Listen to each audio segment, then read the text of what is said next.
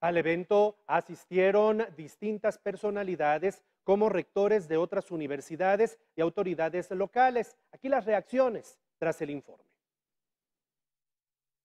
Es eh, el comienzo de un segundo periodo. Eh, esperamos que pues, nos sigamos digamos, dando cuenta y atestiguando los avances que ha tenido la universidad en materia de calidad, en materia también de pertinencia, de desarrollar proyectos que impacten en favor del desarrollo de la región. Felicitar esta gestión y pues también eh, con ello a todo el equipo guapa, al gran equipo y a la comunidad universitaria. Siempre felicitarlo y eh, para mí es muy agradable acompañarlo en este que es su primer informe.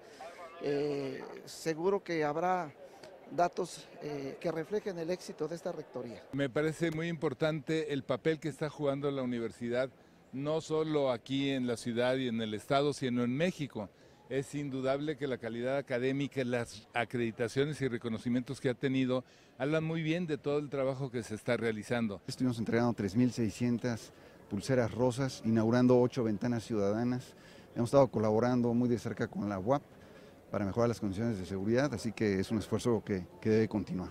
Felicitamos a la comunidad universitaria porque este es un esfuerzo en conjunto de no solamente de los maestros, sino los estudiantes, los padres de familia.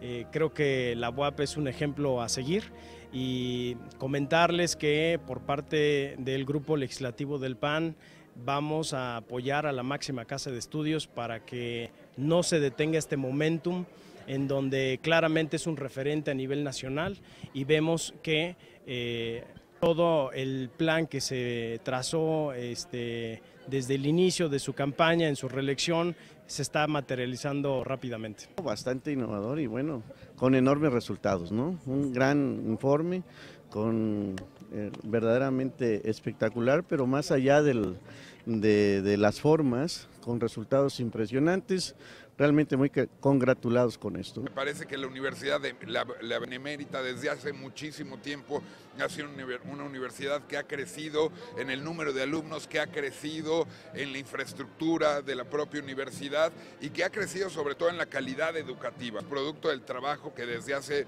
mucho tiempo ha, ha venido teniendo, encabezado por los diferentes rectores y en el caso de Alfonso me parece que no es la excepción. Nosotros hemos tenido una relación de respeto con la universidad, me parece que es una casa de estudios eh, muy buena, de las mejores del país. Líderes de los distintos sectores de Puebla, hablando acerca de este informe de labores del rector de la Benemérita Universidad Autónoma de Puebla.